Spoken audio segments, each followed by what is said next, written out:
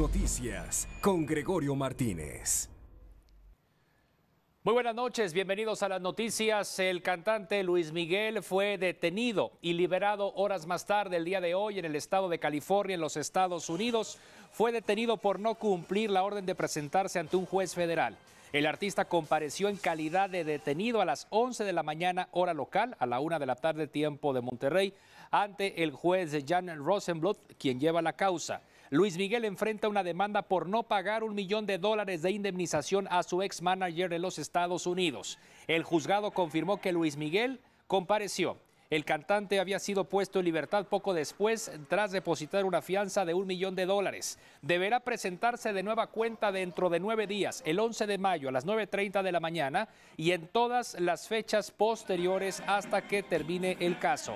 En fecha reciente, Luis Miguel ha enfrentado problemas legales en los Estados Unidos. En noviembre de 2016 fue demandado por incumplimiento de contrato tras la cancelación de una serie de conciertos. Un juez de Nueva York dictó entonces una indemnización también por poco más de un millón de dólares. En este caso en lo particular, el tema de su ex representante Luis Miguel había sido requerido por el juzgado a presentarse antes del pasado 17 de abril antes de su cumpleaños. El cantante no solo no se presentó, sino que rechazó en varias ocasiones los documentos de la demanda. Esta era la tercera vez que no se presentaba a una vista del caso. Fue entonces cuando un juez dictó una orden de búsqueda y captura.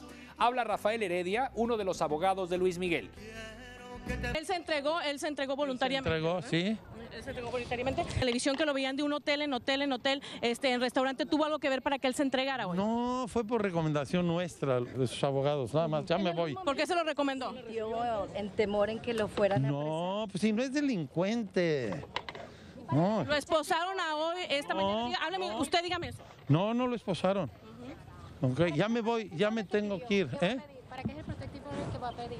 No sé, eso sí, yo no lo sé. No quiere que los medios de comunicación sepan lo que está ocurriendo. Esto va a estar sellado bajo la corte si se mete un- una motion. No sé, no sé.